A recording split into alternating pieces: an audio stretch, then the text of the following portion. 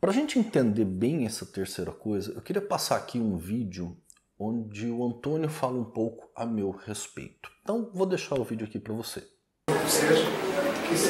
É, no caso, do, no caso do Sérgio Nogueira, é uma pessoa à parte, né? O Sérgio Nogueira é a pessoa mais parecida comigo, eu com ele, né? Somos as pessoas mais parecidas, que temos uma postura bastante diferente dos demais.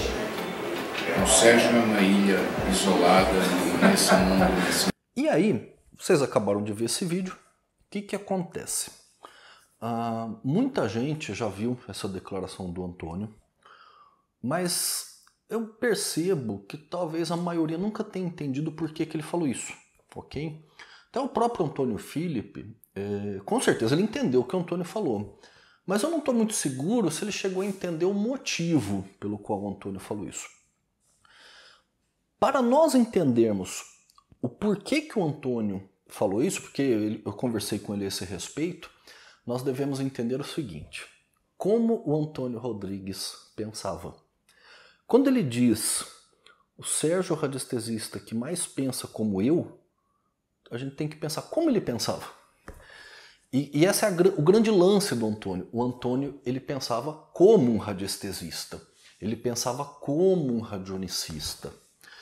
E a ideia do Antônio, o pensamento do, do Antônio, e inclusive é o meu pensamento, é que um dos maiores problemas que nós temos hoje dentro da radiestesia é a dificuldade dos radiestesistas pensarem, a partir da radiestesia, pensarem como radiestesistas.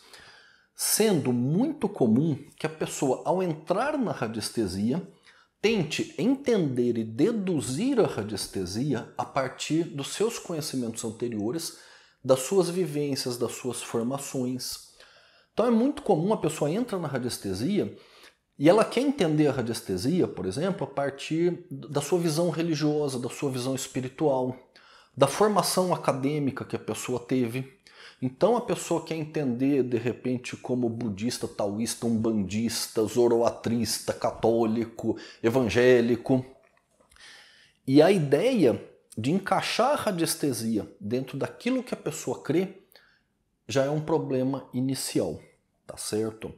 Outro aspecto, a pessoa tenta muitas vezes encaixar dentro da sua formação acadêmica. Então a pessoa quer entender a radiestesia a partir da visão, por exemplo, da sua profissão.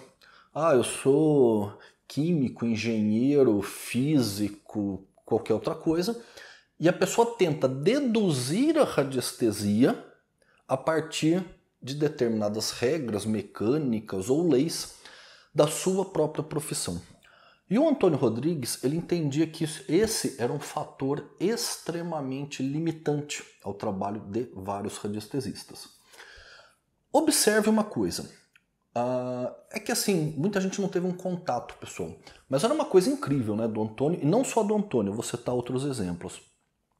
O Antônio, ele conseguia conversar, às vezes, comigo mais de uma hora. E ele explicava a radiestesia pela radiestesia, o tempo todo. Né? Sem ficar recorrendo a outras disciplinas, sem ficar tentando recorrer a conhecimentos externos Neucida Cunha Gonçalves, também já nos abandonou, ele tinha essa característica fantástica. O Neuci podia dar toda uma aula para você, sem ficar tentando entender aquilo ou tentando explicar determinados fenômenos a partir de outras áreas, mas pelo profundo conhecimento que ele tinha da radiestesia, das ondas de forma, das ondas de forma, eu sempre coloco entre aspas, das EDFs, de como que isso funcionava, como é que era esse universo energético que nós estudamos em radiestesia. Então, pensar como um radiestesista, eu aprendi com o Antônio Rodrigues. Foi ele que me levantou essa lebre anos atrás. Quando um dia eu estava conversando com ele, ele mencionou isso. Né? Ele falou: Sérgio, uma coisa que eu gosto em você, você consegue pensar como um radiestesista. E eu acho que na verdade foi isso que nos aproximou na maior parte do tempo. Mesmo que a gente tivesse também algumas divergências de pensamento, porque eu e o Antônio nós discordávamos em vários aspectos. Então, o, o Antônio, ele tinha isso, ele explicava a radiestesia pela radiestesia. Ele explicava os testes que ele tinha feito com a radiestesia, ele explicava as experiências que, que ele havia feito. Era uma coisa muito imersiva na radiestesia, talvez seja essa a palavra.